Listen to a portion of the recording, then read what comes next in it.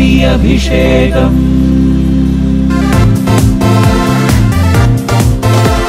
സ്വർഗീയ അഗ്നി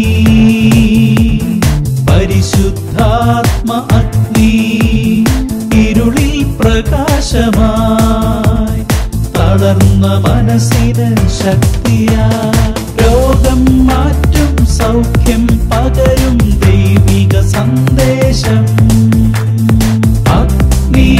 അഗ്നിയഭിഷേകം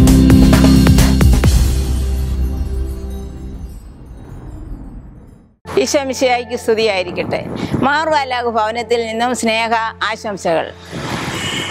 സാമുവലിന്റെ ഒന്നാം പുസ്തകത്തിൽ ജസയുടെ എട്ട് മക്കളിൽ ഇളയ മകനായിരുന്ന ദാവീദിനെ കുറിച്ച് പറയുന്നു.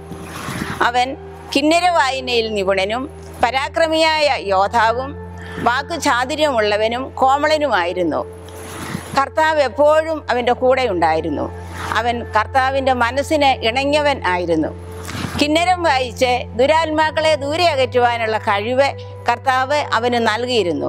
ഫിലിസ്തീനയോടുള്ള യുദ്ധത്തിൽ മല്ലനായ ഗോലിയാത്ത് ഇസ്രയേലിനെ വെല്ലുവിളിച്ചപ്പോൾ രാജാവും സൈന്യവും ഒന്നുപോലെ ഭയപ്പെട്ടു.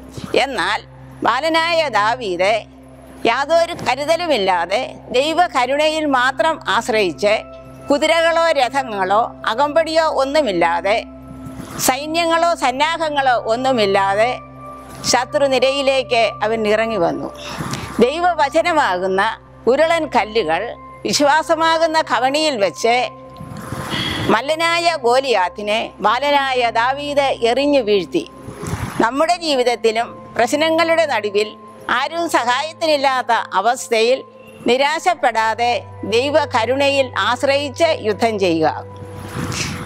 വിശ്വാസത്തോടും വിശുദ്ധിയോടും പ്രാർത്ഥിച്ചാൽ ശത്രുവിന്റെ നടുവിൽ കർത്താവ് നമുക്ക് വിരുന്നൊരുക്കി തരും. നമ്മളെ ഭാരപ്പെടുത്തുന്ന പ്രശ്നങ്ങൾ ഉണ്ടാകുമ്പോൾ നമ്മൾ നിരാശപ്പെടേണ്ട. നമ്മെ തകർക്കുന്ന അവസ്ഥകളെ ഓർത്ത് ഭയപ്പെടേണ്ട.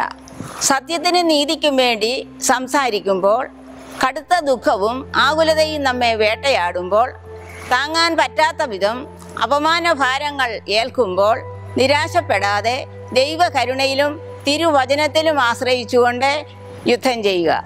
മലനായ ഗോലിയാത്തിനെ ബാലനായ ദാവീദ് തകർത്തതുപോലെ ഏത് കടുത്ത ദുഃഖത്തിലും ഏത് വലിയ ശത്രുവിന്റെയും നടുവിൽ ദൈവവചനത്തിൽ ഉറച്ചു വിശ്വസിച്ചുകൊണ്ട് നമുക്ക് ജീവിക്കാം. ദൈവം നമ്മെ എല്ലാവരെയും അനുഗ്രഹിക്കട്ടെ. ആമേ